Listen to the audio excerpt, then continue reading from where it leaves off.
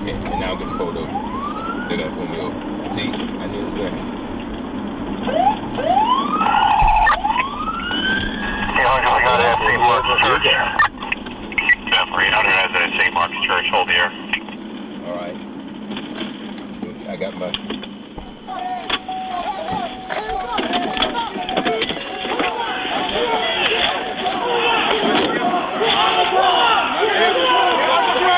On the ground, on the ground!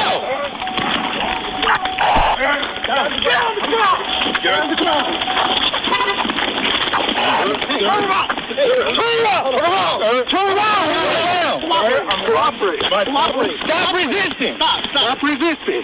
Sir, you're on video. As FYI. All right, all right. Fine, fine. I got cuff, I got cuff.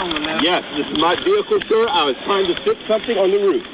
Okay. I have evidence to that end. Well, when we tell you to get down, you got to get down. yes, man. sir. I understand. Okay. Now, why am I being put in handcuffs? We got to verify the car is not stolen, man. This is E4.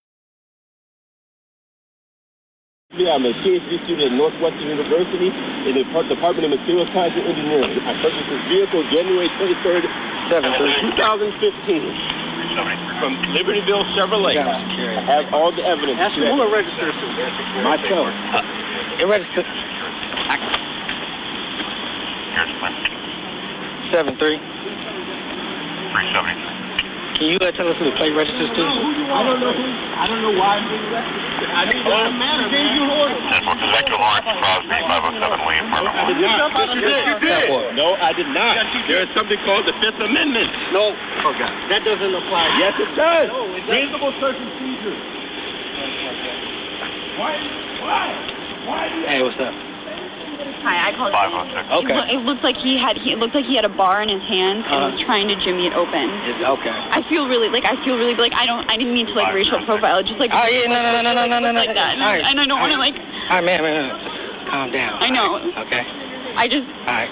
It, it, it, he got a different, he got a different issue going on right now.